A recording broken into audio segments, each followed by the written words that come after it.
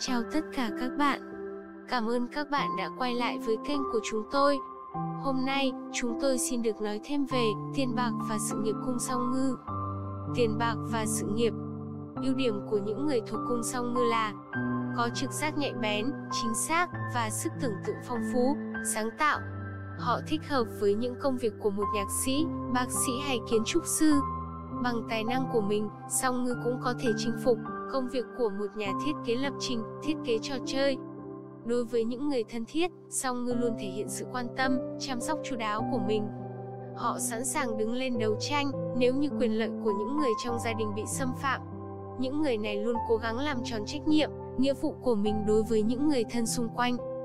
Song ngư không bao giờ bảo thủ với những ý kiến, quan điểm của mình, họ biết tiếp thu quan điểm của người khác nếu lời khuyên đó đúng, song ngư sẽ làm theo, nếu sai thì họ vẫn sẽ lắng nghe với thái độ tích cực.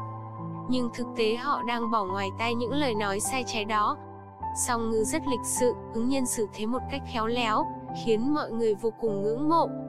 Với lòng vị tha và nhân hậu của mình, song ngư luôn sẵn sàng giúp đỡ những người đang gặp khó khăn, nghề nghiệp phù hợp với họ có lẽ là trở thành một y tá hay một người làm công tác từ thiện xã hội.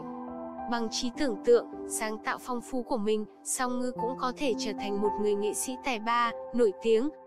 Những người thuộc cung này rất hào phóng, họ không tiếc ai bất kỳ điều gì, nếu như ai đó cần sự giúp đỡ, song ngư sẵn sàng hết mình, không đòi hỏi chút lợi ích nào. Sự lãng mạn, nhạy cảm của họ nếu đặt đúng chỗ, sẽ giúp cho họ đạt được thành công.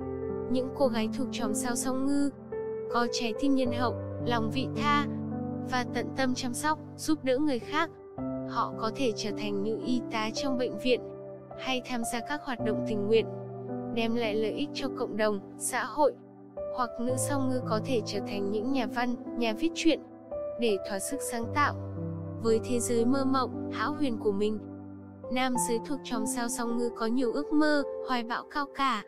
Họ luôn nhiệt tình giúp đỡ những người khó khăn, vui vẻ và hài hước với mọi người xung quanh làm những việc có ích, khiến cho song ngư cảm thấy cuộc sống của họ có thêm ý nghĩa và động lực. Vì thế họ có thể trở thành một nhà tâm lý học, bác sĩ, y khoa, giáo viên. Trong mắt những đồng nghiệp, bạn là một người hòa đồng, vui vẻ và tốt bụng. Họ ngưỡng mộ bạn bởi trí tưởng tượng phong phú và khả năng phán đoán vấn đề một cách xuất sắc. Đặc biệt, bạn không bao giờ tỏ ra kiêu ngạo, khoa trương, ích kỷ, điều đó giúp cho bạn có chỗ đứng trong tập thể, cộng đồng Người sếp thuộc chòm sao song ngư rất dễ tính và thoải mái, luôn nghĩ tới lợi ích cho nhân viên của mình. Nhưng đôi lúc, bạn quá chủ quan, không tính toán kỹ càng, dẫn đến những sai sót trong công việc. Chìa khóa cho sự thành công của bạn là trực giác nhạy bén và trí sáng tạo phong phú, đa dạng. Nếu như công việc đó tạo nên cho bạn nguồn cảm hứng, bạn sẽ phát huy được hết tất cả năng lực của mình. Song ngư là những người giỏi kiếm tiền, nhưng họ không tiêu xài hoang phí, Người này lập kế hoạch cho việc chi tiêu hàng tháng của mình và họ thường dành dụng số tiền của mình cho người thân.